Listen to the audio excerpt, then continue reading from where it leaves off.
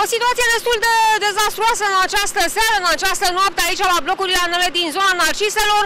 Așa cum am prezentat într-o știre la începutul săptămânii la Gorj TV, Blocurile anele din această zonă sunt inundate și mai inundate astăzi după precipitațiile abundente căzute. Imobilele trebuiau date în folosință înainte de Sfintele Sărbători de Paște, când chiriașii urmau să se mute în noile locuințe. O singură centrală termică cu două cazane valorează peste un miliard de lei vechi. Fiecare bloc are două astfel de centrale care, din cauza inundațiilor, riscă să se defecteze. Aseară, la fața locului s-a deplasat viceprimarul municipiului Târgu Jiu, Aurel Popescu, care a dat asigurări că se va continua acțiunea de scoatere a apei apei din primul nivel al blocurilor ANL.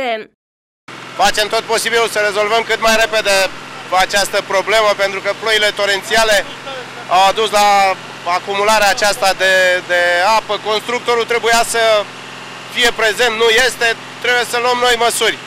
Ne-am împărțit, în oraș avem mai multe situații de aceeași natură, sunt uh, câteva cazuri cu case unde a trebuit să intervenim. Am venit și aici cu două pompe, două pompe de debit foarte mare.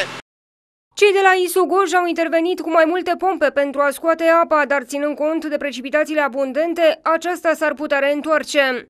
Ținând cont că plouă în continuu, apa o evacuăm cu o motopompă Novus 2000 cu 2000 de litri pe minut și într-o oră și jumătate aproximativ de când lucrăm a reușit doar 30 de centimetri să scadă nivelul apei la un singur bloc.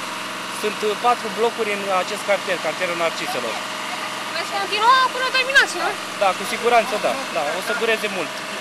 Blocurile ANL sunt finanțate printr-un program Regio, valoarea întregului proiect fiind de circa 60 de milioane de lei, din care aproape 40 de milioane reprezintă contribuția Uniunii Europene, restul fiind fonduri asigurate de guvern și autoritățile locale. Lucrările la cele patru blocuri au început în urmă cu 2 ani și trebuiau finalizate la 1 aprilie 2013. Reprezentantul uneia dintre firmele care este implicată în lucrările de construire a celor trei blocuri ANL, Gheorghe Păsărin, care este și primar PNL al Comunei Bâlteni, spune că inundarea demisolului blocurilor este normală, atâta timp cât nu există canalizare în zonă. Am fost administrator la firma Solaris până în anul 2012, când uh, am fost validat în funcția de primar al Comunei Bulteni, în urma alegerilor.